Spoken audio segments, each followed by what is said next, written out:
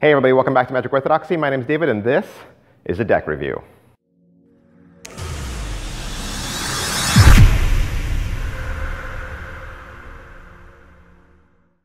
All right, today we're gonna look at the Brybelly playing cards uh, made by, I have no idea. Uh, they just say that they're made in China. Usually that is a warning that they might not be that great. But I was deceived, I was pleasantly deceived because they say right on here that they are high quality playing cards. And so uh, when they say that, you kind of hope that, oh, maybe they are high quality playing cards. Some brand of cards I've never heard of before, meh, meh, warning, uh, no, they're just junky cards from China. Okay, so if you don't know who Brybelly is, they're out in Indianapolis and they're really, uh, well, I don't know why you would know who they were. Uh, they're a drop ship provider. Uh, they're a wholesale company and they work in and out of a lot of different industry special areas. Brybelly specializes though in drop ship service, which is a direct consumer business model that requires you to carry no inventory. So you can have a store, not have any inventory at all. Brybelly will ship uh, the merchandise directly to your customers. And so I guess they have this deck of cards as a way to sell cards to retailers. The front of the case is really pretty. It says, uh, for players with passion. Passion, maybe not passion for playing cards, but some other passion. Uh, Belly and standard index right there on the front. It does say that they have a linen finish, which they do. They have a linen finish across the front. And they have, and it does say that they are casino grade, which would make you think that they are strong and sturdy. Uh, this side says that they're poker size, and then they tell you exactly how big a poker size card is. That's nice. And this side says that they are standard index, meaning that they're not jumbo index. On the bottom, there is some ad copy about Brybelly. And then the back design shows you both what the front and back of the cards will look like. The tongue flap here has a little bit of ornamentation, and that is pretty much it for the tuck case. Let's take a look at these cards. Like I said, these cards were printed in China, so I have no idea who made them. Um, but they do have a little bit of snap. They do have a linen finish. So if you look really closely at them, there is a weave finish on there.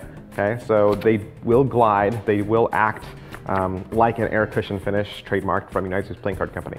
The back design is really busy, has uh, your flowered uh, corners, very similar to another deck of cards.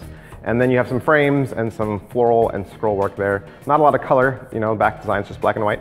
Uh, but I mean, it could have been an attractive back design if they had given you a more quality uh, paper stock. Okay, so when a tuck box says high quality playing cards, you almost expect high quality playing cards unless you see that they're also made in China. Uh, these cards handle better uh, than a typical deck of cards made in China.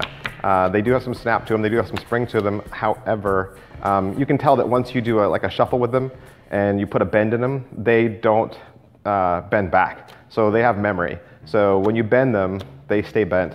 And so that is just um, evidence of just cheap paper stock, okay? But they do spring well. Uh, you might get some action on these. I tried to uh, weave shuffle them the other day. I don't know, as you can see, they don't, they just butt heads. They don't, see how they, they're not, they're not, yeah, they don't go. They don't, they don't like to do that. Of course you can sit there and, you know, shuffle them that way, they'll work fine. They're great for camping probably, great for throwing, probably great for doing uh, torn and restored cards if you want to just thrash cards, but they're a little too expensive. I wouldn't buy these cards.